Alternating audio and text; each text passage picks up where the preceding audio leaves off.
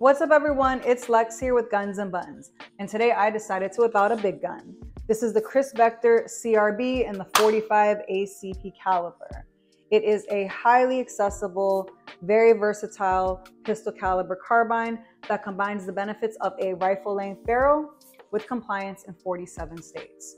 So whether it's for recreational use or competition use in the pistol caliber carbine division, or whether you're just looking to add something to your zombie apocalypse arsenal, this is an excellent choice for all of the above.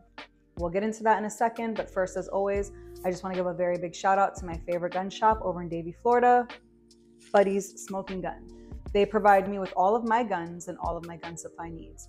So make sure you check them out, follow them on Instagram at the Smoking Gun 954. And when you have some time, head over to their website. The link will be down below. And you know, I always like to go over a few simple safety steps when handling a firearm just to ensure the safety of yourself and the safety of those around you.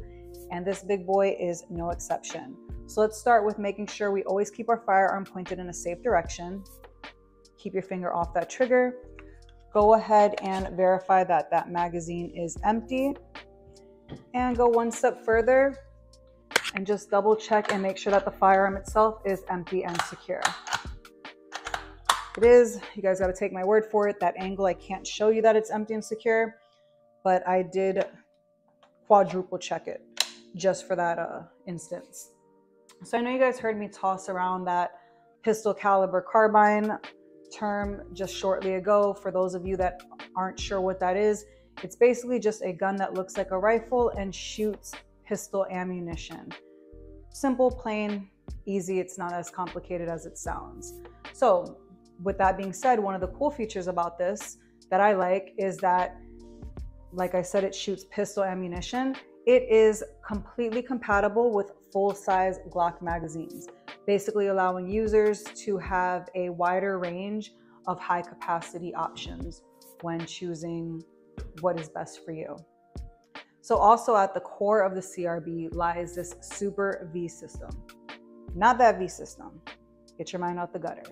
The Super V system. I'll tell you guys what that is. I found out what it was last week when I took this out to the range for the first time. I had never shot it before. I wasn't sure what to expect. I am a small woman in stature. This is a big gun in comparison. So I'm waiting, you know, not knowing what to expect, thinking I'm gonna have my shoulder rock back, I'm gonna fall on my butt when I shoot it. I didn't know what what to expect from it. I was pleasantly surprised. I shot it. I knew I shot it because I knew I pulled the trigger, but I had to like literally ask myself, did it shoot? That's how mitigated that recoil was. Like there was no kickback, there was nothing. It wasn't until I pulled the target forward and I was like, oh, okay, yeah, we're onto something. We're shooting. And that's that super V system. So basically, it is a unique, nonlinear, multi-link blowback system engineered to just redirect recoil energy downwards.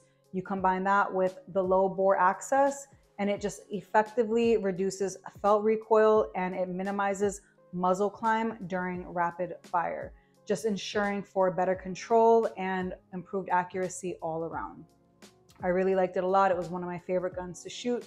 I will post it as a short so you guys can see what I'm talking about.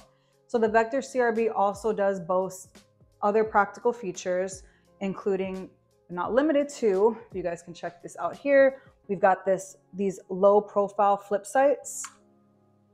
I wish I had more range for you guys to see. We've got those uh, low profile flip sights, and then we have a full length. You guys can check that out there. Picatinny top rail, which just provides you with ample space to attach um, different optics, different lights, different lasers to customize it to your liking. Then in addition to these features, we also have a six position adjustable stock, which is basically allows users to customize the length of the pull to fit their preference and their shooting style. I personally love, love this firearm. To me, the Kriss Vector CRB is reliable. It's adaptable for a pistol caliber carbine. Um, it just caters to both recreational shooters, competitive enthusiasts. Uh, I think it's great if you're in the market for something that's big, but you know you want to be able to have a, a good control on.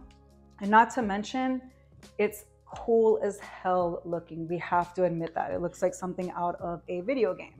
So you put that with the Super V system, the compatibility with the Glock magazines, the low bore axis, the versatile stock, and I think it just makes it a well-rounded firearm, whether you're looking to reduce recoil, inaccurate shooting, customization options, I think it just delivers on all fronts. So if you guys have any questions about this, if there's anything that I didn't touch on, I know that there might be some features that you guys want to hear about. Um, you guys can feel free to leave it in the comments and I will get back to you on that. This is not the stock magazine that comes with it. The stock magazine that comes with it is 13 rounds. This one has, I believe, 27 rounds. So that is just an um, something that I purchased for myself.